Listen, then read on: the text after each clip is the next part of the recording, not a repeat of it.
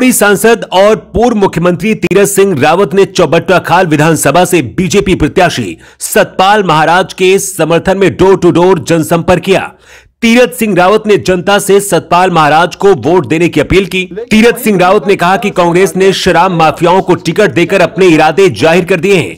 कांग्रेस इस क्षेत्र में शराब की नदियाँ बहाने की तैयारी में है, जबकि भारतीय जनता पार्टी ने एक राष्ट्र संत एवं आध्यात्मिक गुरु को अपना प्रत्याशी बनाया है। जिनकी सोच हमेशा उत्तराखंड के विकास एवं समृद्धि की रही है। लेकिन वही मैंने कहा, विकास है, आध्यात्मिक है, अपनी संस्कृति को बचाने का काम महाराज जी जैसे व्यक्तित्व कर रहे हैं।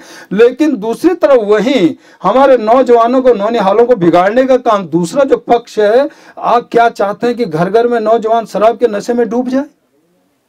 ये आपको तय करना है।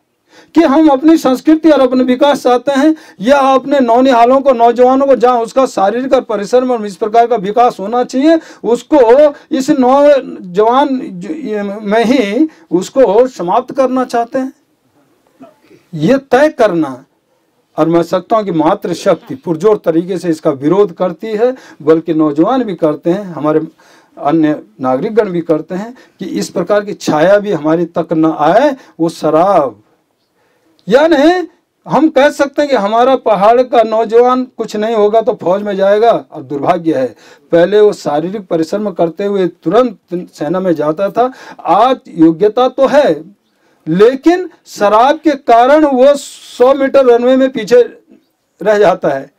नशा इससे बचाने का काम करना है। तो ये हमको परख करनी है कि सामने वो लोग हैं और एक तरफ़ ये लोग हैं। तो पहचान करना। तो इतना कहते हैं, चौदह तारीख को मतदान होगा, महादान होगा, कन्यादान से भी बढ़कर होगा, क्योंकि भविष्य हमारा उसी में है, विकास। तो इसलिए कोई अपना अगल बगल न छूटे, परिवार का न छूटे, चाहे बर्फ़ पड़े, बारिश हो, झड़ी लग जाए तब भी पहला काम सुबह नाश्ता करते वोट डाल करके आना, कमल के बटन को दबाना, महाराज जी को फिर अपना प्रतिनिधित्व दे करके और फिर आपके विकास को वो कर सके।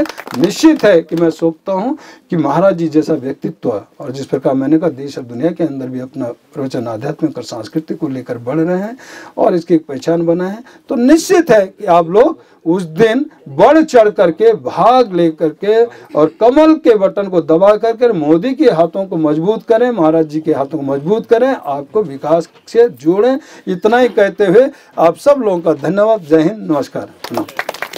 वहीं बीजेपी के चौबट्टा खाल प्रत्याशी सतपाल महाराज ने अपने विधानसभा क्षेत्र के पोखड़ा मंडल के देवराड़ी असलोट कमेटी में जनसंपर्क करके अपने कार्यकाल के दौरान विधानसभा क्षेत्र में किए गए विकास कार्यों के बारे में जनता को बताया। सतपाल महाराज ने कहा कि डबल इंजन की सरकार के कारण ही आज उत्तराखंड सहित हमारे क्षेत्र का विकास संभव हो पाया है।